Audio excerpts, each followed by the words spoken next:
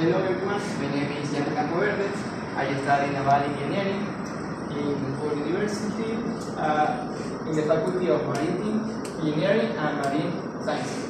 Today I'm going to talk about the what is called studying say about the use of the technological device in class.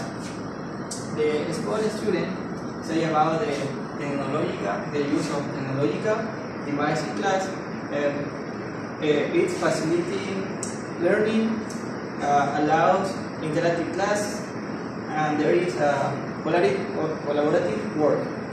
First, it's facility learning uh, because uh, there is a rapid feedback uh, through, through comment from a student or teacher.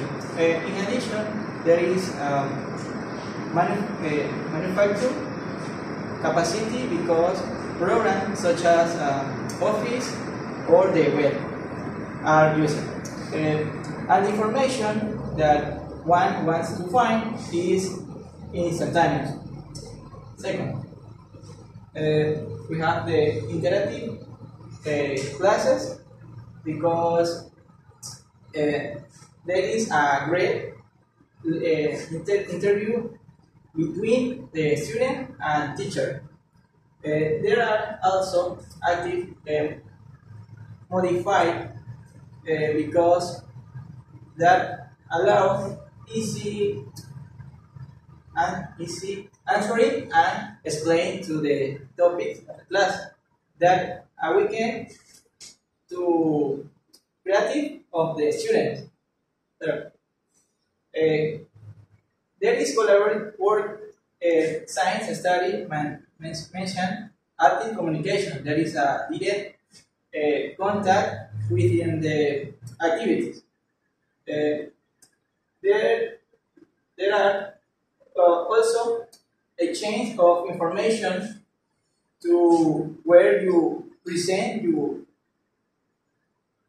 uh, point of view and you respond to placement. Uh, and this awaken to 30 seconds. uh, combi- combine of uh, uh, competences uh, digital among students. And in conclusion, in, in my opinion, uh, the students, ESPOL student that say uh, about the using of technological device in class allows uh, the allows the uh, speed and congratulation, uh, speed and facility in learning. They say uh, also that improve dynamic class and facilitate the uh, collaboration in the classroom.